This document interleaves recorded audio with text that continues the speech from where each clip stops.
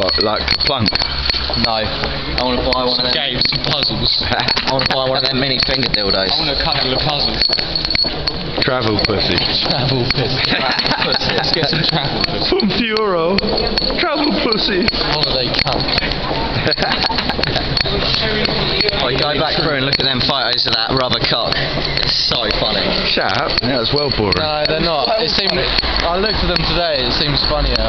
it was you. funny when you was actually there, but anyone that I sees like it. it a lot. You're in the cycle lane, Marco. Chris, you're in the cycle eh? lane.